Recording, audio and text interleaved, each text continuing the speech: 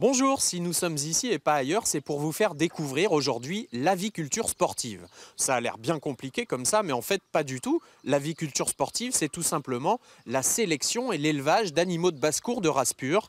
Et pour nous faire découvrir cet univers, on va tout de suite aller à la rencontre d'Yves Desforges. Ah, il y a de la boue. Il y a quelqu'un? Ah, bonjour Yves. Bonjour. Vous allez bien? Ça va, ça va. Vous faites quoi là? Alors là, je suis en train de nourrir mes volailles. D'accord. Et là, j'ai prélevé, j'espère, le futur champion de France de la race de Houdan. Ah, mais ça, c'est Euh, pas un œuf que vous allez manger alors? Ah non, ceux-là sont pas destinés à la consommation. Il fait partie de mon parquet de reproducteurs de volailles de Houdan. Et euh, je vais le mettre en incubateur. Et j'espère qu'il va me donner un petit poussin, qui me donnera une belle Houdan et qui sera championne de France. On va aller voir à quoi elles ressemblent, les houdins. Alors. Eh bien, bien Allez. sûr, elles sont là, juste là. Elles viennent de sortir. elles. Au quotidien, cet amateur d'aviculture est aussi professeur de génie thermique. Il s'est pris de passion il y a 20 ans pour les volailles, de race pure. Il existe une soixantaine de variétés de poules en France, Yves en possède quelques-unes.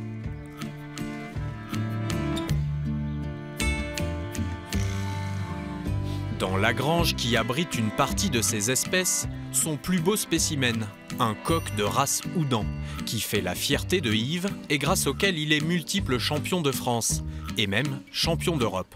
Alors ça c'est mon cabochard, il est un peu coquin parce que c'est un des coqs avec lequel j'ai eu un prix euh, au niveau du championnat d'Europe des races de Houdan. D'accord.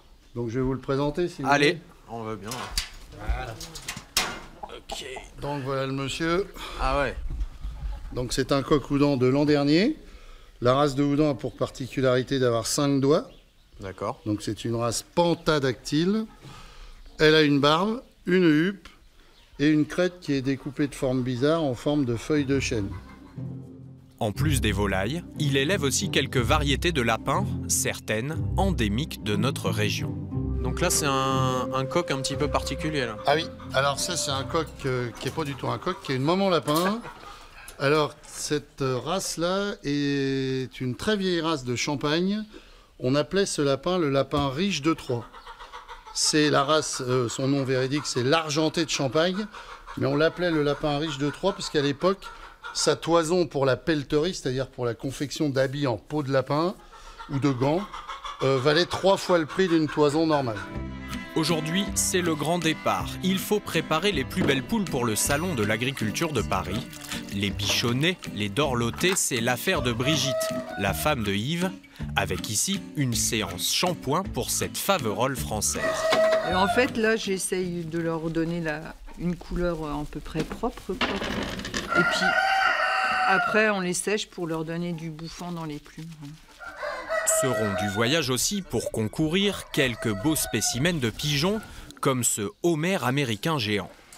On vérifie la morphologie, qu'elle a une tête qui correspond à ce que demande le standard, que le juge apprécie à sa juste valeur la tête.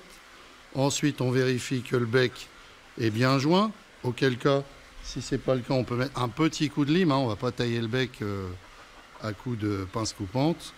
La couleur de l'œil, d'accord, qui doit être rouge-orangé. Et puis, bon, le- la musculature, voilà, qui est bonne. Chevalier du mérite agricole, Yves est également juge international lors de grandes expositions avicoles.